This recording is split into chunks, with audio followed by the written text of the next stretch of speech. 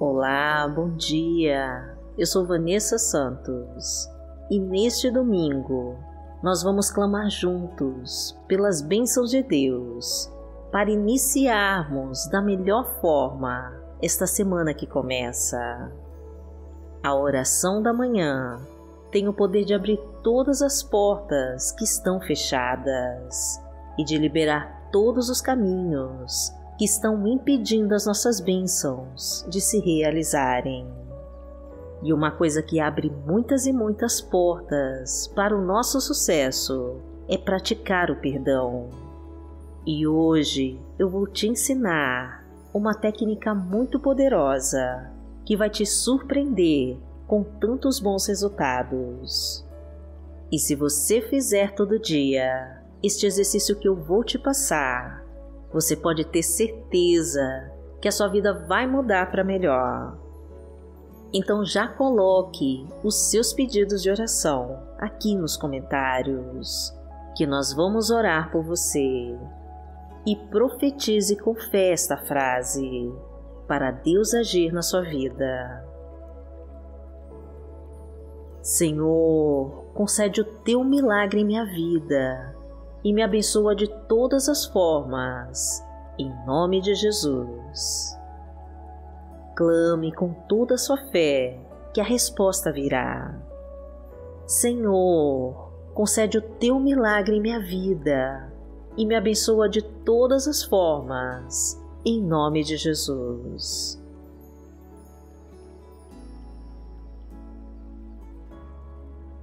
Hoje é domingo, dia 17 de outubro de 2021 e vamos falar com Deus.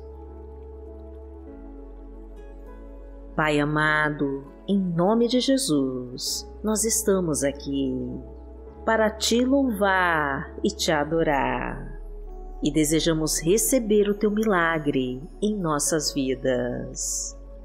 Pai querido, as lutas e provações são grandes e estamos sempre tentando vencer os obstáculos que aparecem para nós. Precisamos de um sinal, Senhor, de que estamos no caminho certo. Mostra para nós, meu Pai, como entender a tua vontade e quais são os planos que reservou para nós. Ensina-nos a conhecer os teus mandamentos e a praticar as tuas leis. Ajuda-nos a ouvir a tua voz e a seguir a tua direção. Perdoa-nos, meu Deus, a nossa ansiedade e preocupação. Som dos nossos corações, meu Deus, e afasta tudo que não pertence a ti. Dirige os nossos pensamentos, meu Pai, e nos tira das brigas, das contendas e confusões. Ajuda-nos a permanecer em tua presença e nos coloca nos teus bons caminhos. Afasta-nos dos assaltos, acidentes e balas perdidas e nos abriga debaixo das suas asas. Leva embora os inimigos ao nosso redor e toma o controle da nossa situação. Seja a nossa luz na escuridão, meu Pai, e afasta todas as trevas ao nosso redor.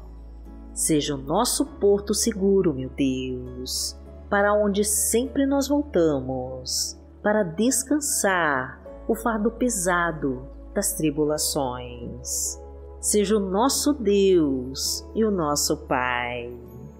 Pai nosso que está no céu, santificado seja o teu nome. Venha a nós o teu reino, seja feita a tua vontade, assim na terra como no céu. O pão nosso de cada dia nos dai hoje. Perdoai as nossas ofensas, assim como nós perdoamos a quem nos tem ofendido. E não nos deixe cair em tentação, mas livrai-nos de todo mal porque teu é o reino, o poder e a glória, para sempre. Amém. Então agora nós vamos fazer um exercício bem simples mas muito poderoso, para deixar ir embora todo sentimento ruim guardado dentro do seu peito e que está machucando a sua alma. Vamos lembrar por um instante de todas as pessoas que estamos com relações estremecidas, pessoas que nos fizeram mal, que nos trapacearam, que traíram os nossos sentimentos, pessoas que pecaram contra nós e que nos prejudicaram muito.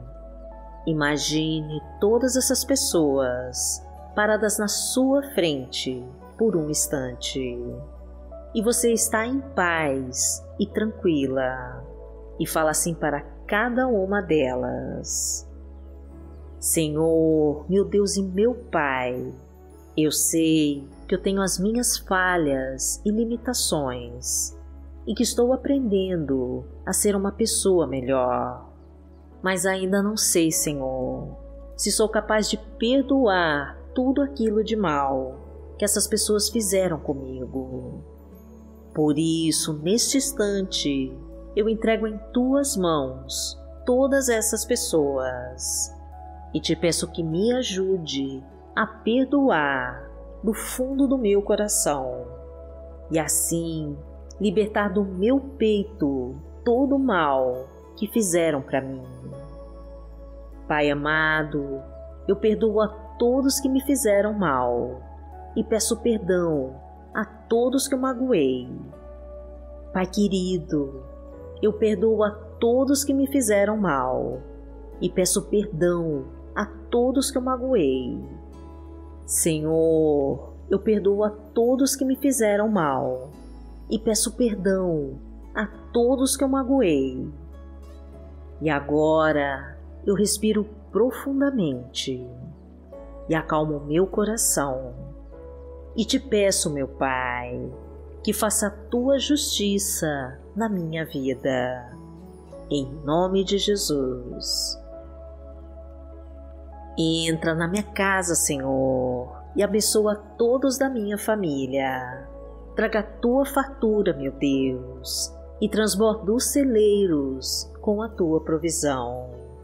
Multiplica minha colheita, meu Pai. Unge cada um com teu óleo santo e derrama a tua prosperidade em todas as áreas da minha vida.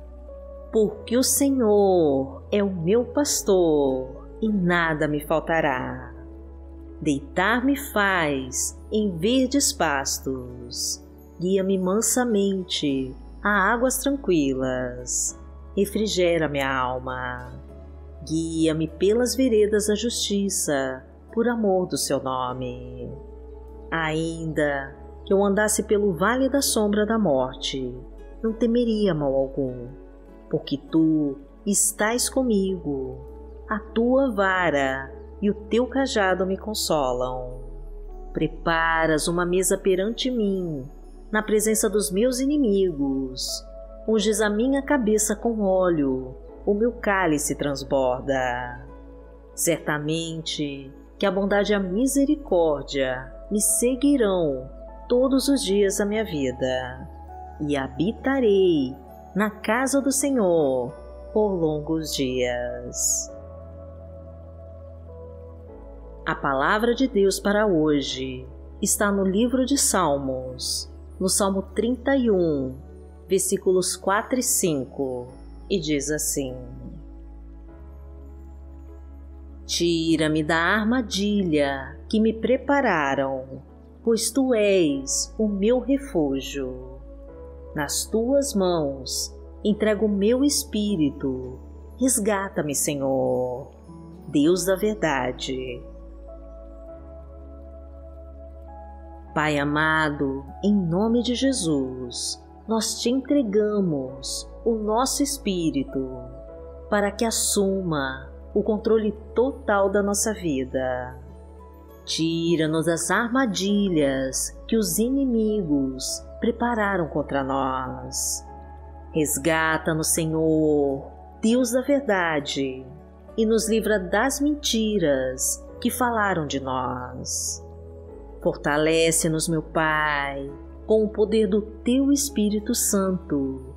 Envia os teus anjos, meu Deus, para nos protegerem e nos guardarem de todo o mal.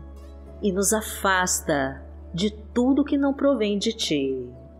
Porque aquele que habita no esconderijo do Altíssimo, a sombra do Onipotente descansará. Direi do Senhor, Ele é o meu Deus o meu refúgio, a minha fortaleza, e nele confiarei. Porque ele te livrará do laço do passarinheiro e da peste perniciosa. Ele te cobrirá com as suas penas, e debaixo das suas asas te confiarás. A sua verdade será o teu escudo e broquel não terás medo do terror de noite, nem da seta que voa de dia, nem da peste que anda na escuridão, nem da mortandade que assola ao meio-dia. Mil cairão ao teu lado e dez mil à tua direita, mas não chegará a ti. Somente com os teus olhos contemplarás e verás a recompensa dos ímpios porque tu, Senhor, és o meu refúgio, no Altíssimo fizeste a tua habitação. Nenhum mal te sucederá, nem praga alguma chegará à tua tenda, porque aos seus anjos dará ordem a teu respeito, para te guardarem em todos os teus caminhos. E eles te sustentarão nas suas mãos, para que não tropeces com teu pé em pedra.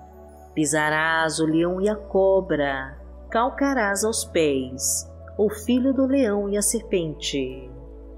Porquanto tão encarecidamente me amou, também eu livrarei. Poloei em retiro alto, porque conheceu o meu nome.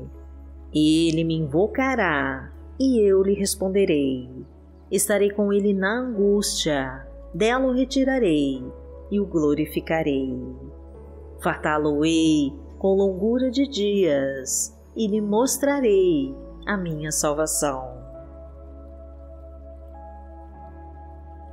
Pai amado, em nome de Jesus, nós queremos te entregar o controle total das nossas vidas e te pedir que cuide de nós. Não podemos, meu Deus, estar longe de Ti, pois Te amamos demais e precisamos da Tua luz sobre nós. Ajuda-nos, Pai querido, a confiar mais em Ti e a buscar mais a Tua presença. Aumenta nossa fé no Teu poder e ilumina os nossos caminhos.